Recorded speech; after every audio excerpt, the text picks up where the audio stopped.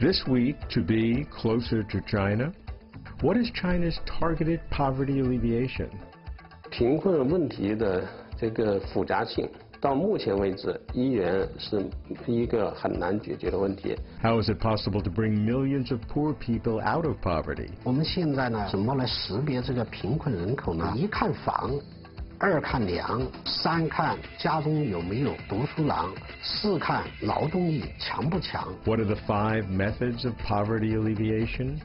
五个一批，当时根据不同的致贫原因、不同的资源和环境条件提出来的解决贫困问题的一揽子的一个方案。Why does China apply the six precision measures?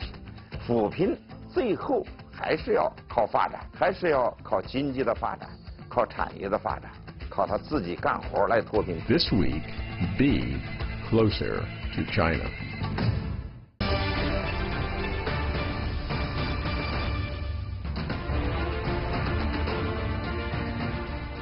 President Xi Jinping has made it radiantly clear that the elimination of all extreme poverty in China is essential for ushering in the moderately prosperous society in 2020, which is the first of China's overarching national goals, and he has tasked officials with making sure that this goal is realized. It was in November 2013 in a poor county in central China's Hunan province that President Xi first proposed the concept of targeted or precision poverty alleviation. He said, targeted measures should be based on practical situations and empty slogans should be avoided.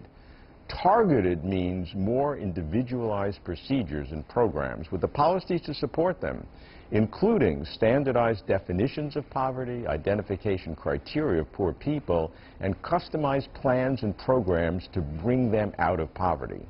But how specifically do targeted policies and precision measures work in practice in the tens of thousands of impoverished villages? How is it possible for a poverty alleviation campaign to provide customized programs for millions of poor people, many living in remote areas? Finding out brings us closer to China. This bumpy road leads to a mountain village, and this stone abode is home to 16-year-old Xu Hui Qing, the daughter of a poor rural farming family. There are only two rooms. One serves as the kitchen. This tiny room also serves as her study. I don't do homework under the lamp because the light from it is weak. I am used to doing my homework with the help of flashlight. Xu Wei Qing has just been admitted to the Vocational Education Center in the county. Her family resides in the hinterland of the Wuling Mountains in Chongqing. Xu Wei Qing's father, Xu Zhoushan, is ill and physically disabled. Her mother suffers from childhood meningitis. Without sufficient workers, the three-member family lives by farming a few acres of mountainous land. In 2015, Xu's family became entitled to a basic living allowance of 400 yuan per month, roughly $61, which was very much needed. Although China has lifted more than 700 million people out of poverty, there are still 30 million people living in extreme poverty, like Xu Wei Qing's family, and lifting them out of poverty is China's must-do task by 2020. It was in 2013 that Xi Jinping proposed the concept of targeted poverty alleviation. During an inspection trip to Guizhou province in 2015, he proposed six kinds of precision. Precision in identifying the real poor, precision in tailoring aid projects to help the poor according to their needs, precision in guaranteeing financial support for aid projects, precision in guaranteeing the implementation of aid projects for every impoverished household, precision in designating officials to help carry out poverty alleviation measures in every poor village, and precision in evaluating whether poverty alleviation goals are met within defined standards.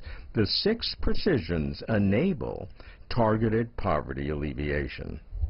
I've heard that there are so-called six kinds of precision poverty alleviation measures or concepts. Uh, what are some of them and uh, how are they applied? 啊、对，这也是我们在中国十八大以来，呃， The 实 six 施 kinds of 经济 precision poverty alleviation lay the groundwork for General Secretary Xi Jinping's targeted poverty alleviation. The six precisions refer to the need to achieve precision in identifying the recipients, in making project arrangements, utilizing funds, implementing household-specific measures, official assignments, and fulfilling the goals. I will use one village as an example of how we apply those six precisions. Say if there are 100 households in a village, we will first identify the really poor among the 100. To achieve this goal, we will go through the procedures of democratic appraisal and then get confirmation from township and county. Say we identify 50 of them as poor households. After identification, we need to provide the 50 households with the precise support they need. In the past, we might have just simply offered all the 50 households with sheep for them to raise, but that support was not precise enough because these 50 households may suffer poverty for various reasons. Some may lack funding, some may lack education, and some may lack a healthy labor force. Therefore, we cannot adopt a one-size-fits-all measure to the 50 households by providing them with sheep. So how can we attain that precision in terms of support? First, we need to identify the specific reasons that cause the impoverishment of those 50 households, and then tailor aid projects accordingly. The village usually is not strong enough in self-development and self-organization, so we will assign cadres and a task group from outside the village over there to assist the village development. After precise support, we have a standard to evaluate whether we have achieved the goal of poverty alleviation. That is the precision being put into effect. To achieve that, we need a whole set of integral systems that center on how to precisely utilize the resources, manage the programs, publicize the information, and evaluate the result. The ultimate goal is to guarantee the most efficient support for the most impoverished people so that they can get rid of poverty, so that our goal of eradicating poverty can be attained. How precise can you be in defining people either just above the line or just below the line? So how do we identify the poor? We make a judgment by four criteria. First, we examine the house. If we find out that the safety condition of the house cannot be guaranteed during the examination, then the family meets the first criterion. Second, we learn about their household income and living conditions by examining the food they eat. Third, if the family members are all poorly educated, normally they are often faced with poverty problems. So the third criterion is met. Fourth, if the family has a sufficient labor force, its level of poverty tends to be lower.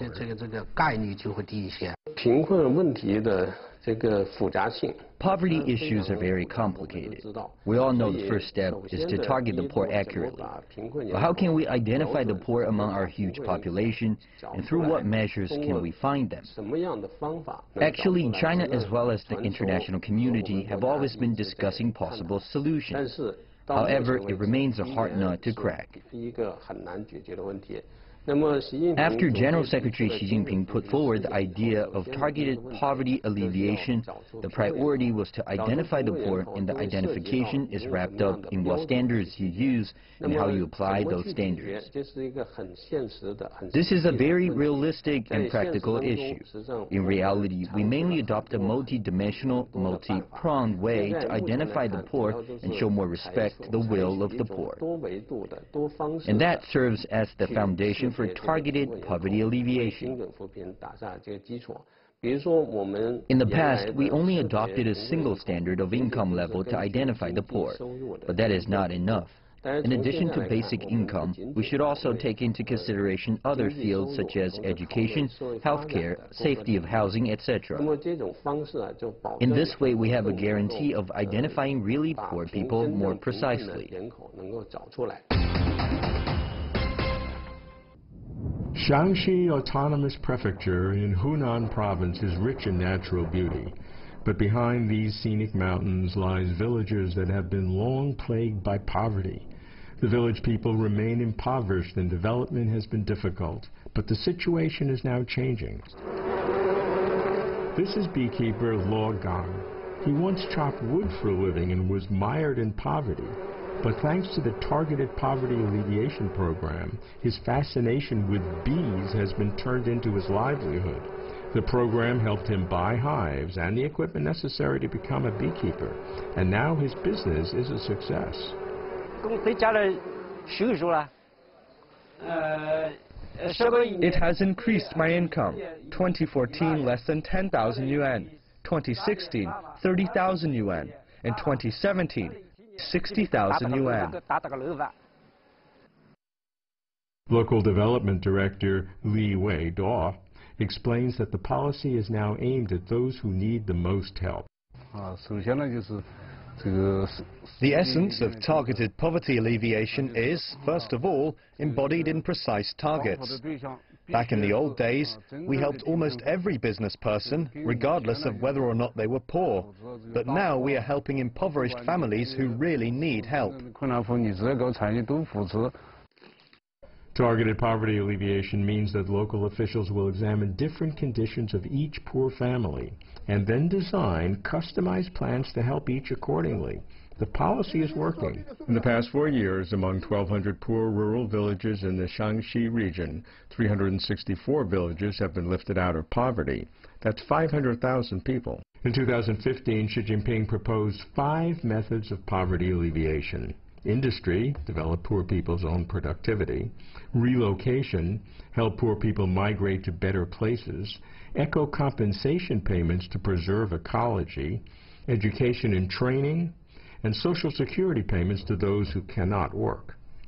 The overall vision is simple. First, the reasons that cause impoverishment are identified, then a series of targeted measures are tailored for each poor family to bring them out of poverty. For Luo Gang, his honey harvest has doubled every year. Such a golden bounty enables him to send his daughter to university and to buy a motorcycle. The future for his family has brightened. He will now train his village neighbors on the art of beekeeping. What are the so-called five methods of bringing people out of poverty, the different categories, mm -hmm. and, and what kind of uh, color can you add to explaining the, the nuances of each one? 对，那个五个一批是那个当时根据那个 The five methods of poverty alleviation are put forward as a package plan to deal with poverty based on its different causes. We first decide on some basic standards concerning what sorts of people need help and help them through various measures. For instance, for poverty alleviation through industrial development, the recipients need to have a healthy labor force. Otherwise, such industrial programs won't help. Another example, for poverty alleviation through relocation, the areas must be places with poor conditions and fragile ecosystems. Thus, villagers living there have no other development opportunities unless they get relocated somewhere else. Still more, there are social security programs which guarantee basic living standards for the poor who are unable to work. For instance, the elderly, the disabled, those who are seriously ill, we cannot help them through any production measures. Therefore, we need to provide subsistence allowances or other social security programs for them to make sure their income can reach above the poverty line. That is what poverty alleviation through social security means. 呃，贫困标准，这就叫社会保障都得扶贫。实际上，这个产业扶贫啊， 这个事情太复杂。In fact, poverty alleviation through industrial development is very complicated. It's not a matter for central government.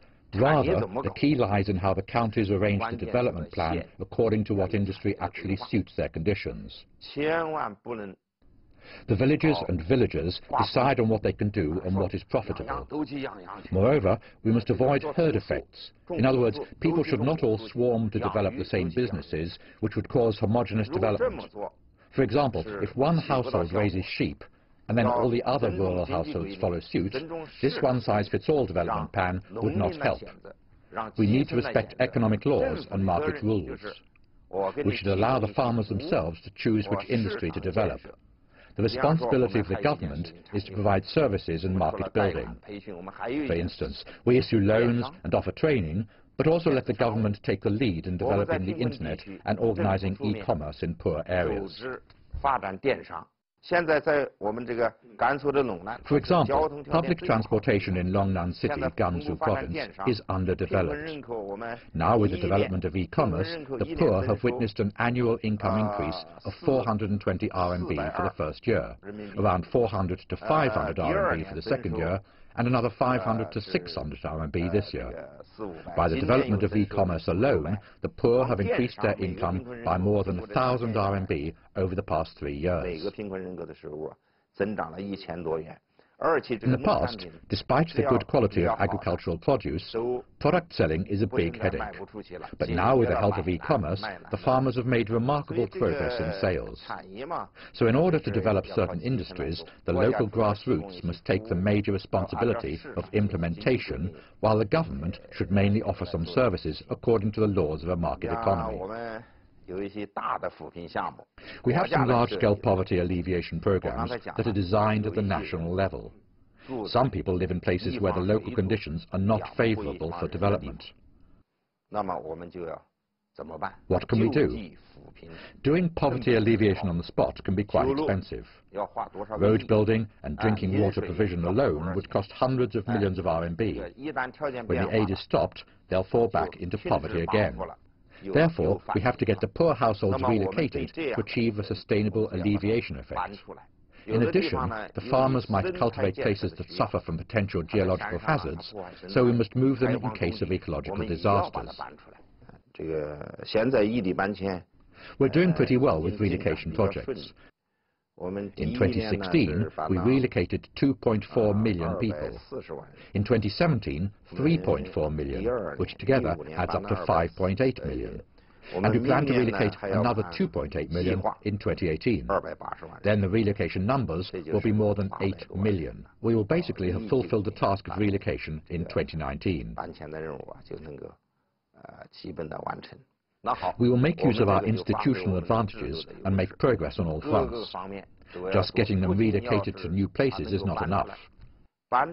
We need to take care of the poor in terms of education, healthcare, industrial development, and so on. Our goal is not merely to get them out of poverty, but also offer them sustainable development, which enables them to live a good life forever after being lifted out of poverty. One of the critical uh, methods of uh, helping the uh, abject poor are the remote villages that have to be relocated. I visited a few. And in some cases, the villages themselves, even though they are poor technically, don't want to move to the city because their whole lives are in the country. That's what they know. That's what they're comfortable. And they feel totally out of place in the city. How do you deal with those kinds of conflicts? We cannot be hasty with this issue. We have policies, funding, criteria for relocation. If you meet the requirements and are willing to get relocated, go ahead. If not, you can just hold on and wait. We have a project in Tibet. There is a village located at a high altitude of more than 4,000 meters above sea level, and we have a relocation project for them. At the beginning, we successfully relocated more than 100 households to a new village. We built houses for them with government subsidies. So the villagers themselves did not have to pay for them, as they don't have money. We also set up three companies, one for raising dairy cows, one for raising chickens, and one for producing feed and there's a patch of land allocated for growing the feed. All these three companies are modern shareholding companies. Every individual holds some shares, and they can work in the company as well. In addition, we arrange for leapfrog development in medical care. There's a province in East China that partners with the village and offers remote medical assistance via a local clinic in the village that gets connected to the internet, so they can receive distance medical treatment. As the poor can see these improved conditions in the new place, they've become willing to relocate. So far, among the remaining 40 households that need relocation, there are only four households that still need more persuasion. All the others have agreed to move now. So we don't only resolve the problem of housing after relocation, rather, all the industrial development, infrastructure and public facilities will be taken care of. Yet this transition takes time, and we can wait instead of making it mandatory and forcing people to move. In actual practice, some grassroots cadres may have the inclination to force people into relocation in order to fulfill their goals. However, this is just an individual phenomenon, and we will correct the wrong whenever we notice such malpractices. And they're not serious. So far, we have altogether relocated more than 5 million people and accomplished more than half our goal. Another two years, and we will basically fulfill the target. I think the fact that no major incident has ever occurred during the process is the best evidence for the quality of our work. As for the minor issues, we will address them as we proceed with the work. Generally speaking, we are doing quite well with relocation. Poverty alleviation is a daunting challenge. Throughout history, throughout the world, every country strives to alleviate poverty. Now, China vows to alleviate poverty by 2020. Within three years, China must lift the final 40 million people above the poverty line. What's unique about China's plan that is called targeted poverty alleviation? How does targeted work? What are its problems, its secrets? Can other countries learn from China's experience? I'm investigating China's targeted poverty alleviation. I'm Robert Lawrence Kuhn, bringing you closer to China. The leadership of the CPC guarantees the Targeted Poverty Alleviation Program. The CPC Central Committee has made it official, requiring that heads of local CPC departments and governments sign letters of responsibility and make promises. It also requires that heads of CPC departments at provincial, city, county, township, and village levels have clear and demarcated responsibilities and coordinate their work. Party cadres at all levels must immerse themselves in the task of eliminating poverty and do so with a good spirit.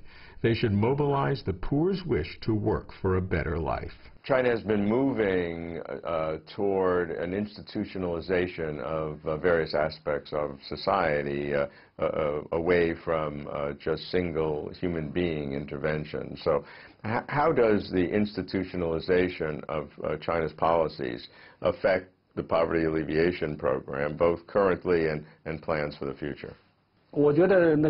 I think China's political and institutional advantages in poverty alleviation are mainly reflected in the following aspects.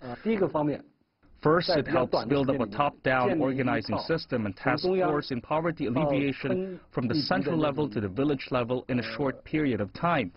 That is to say, it enables effective implementation of our poverty alleviation policies and plans. For instance, in China's roughly 128,000 poor villages, more than a million cadres are expected there to help.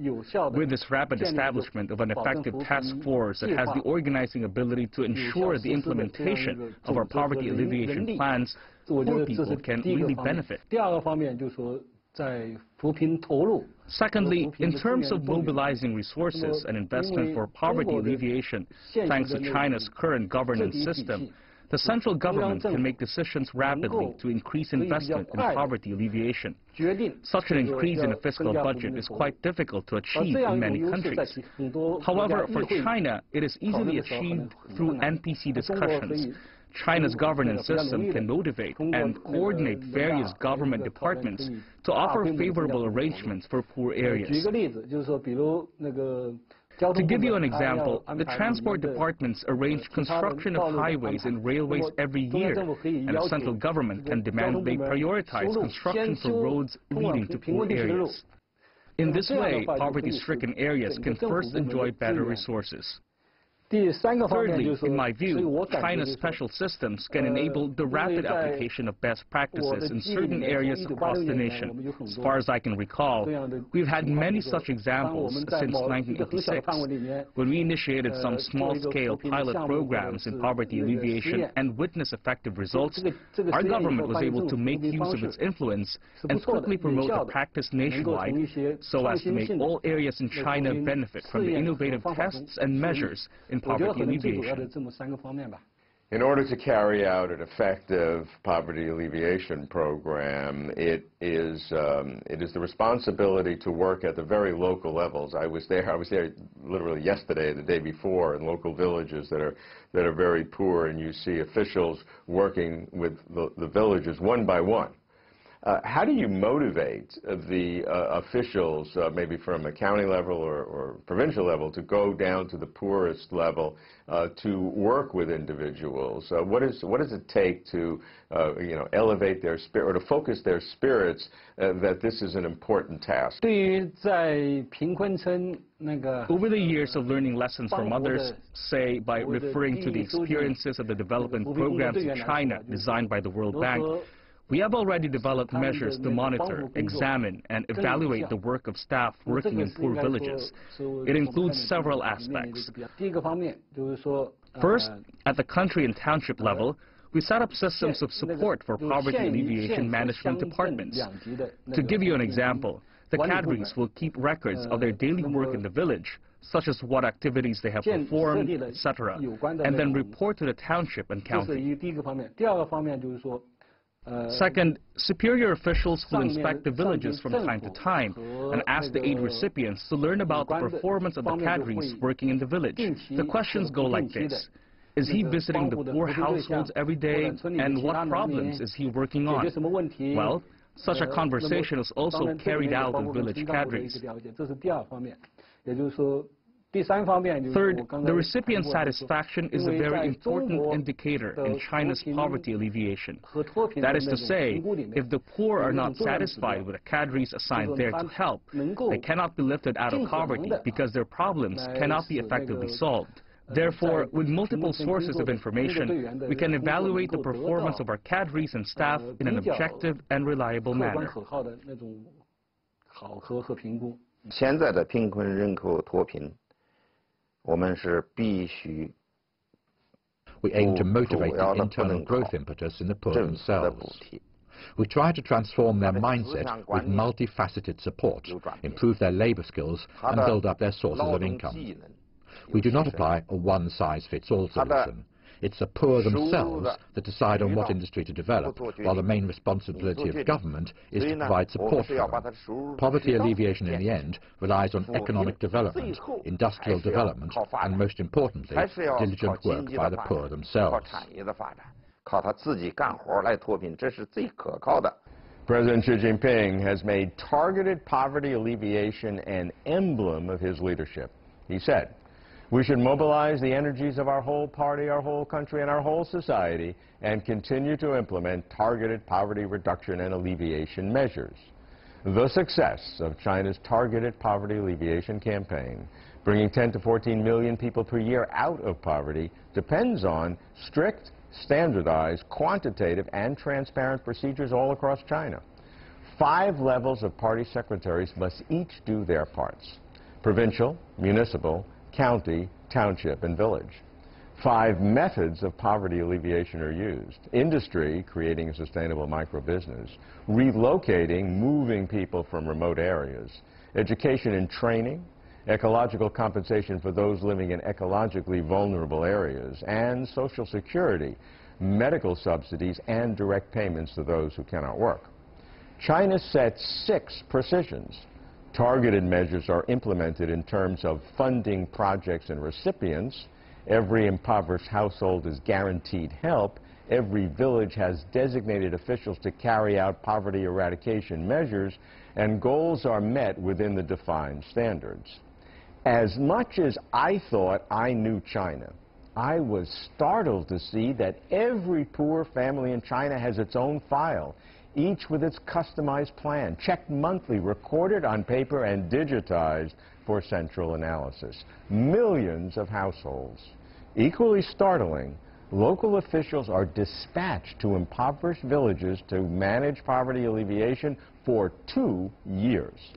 I watched a democratic evaluation in a remote village where villagers voted into poverty status one young man whose father has cancer and cheered when another man was raised out of poverty. That moment for me was closer to China.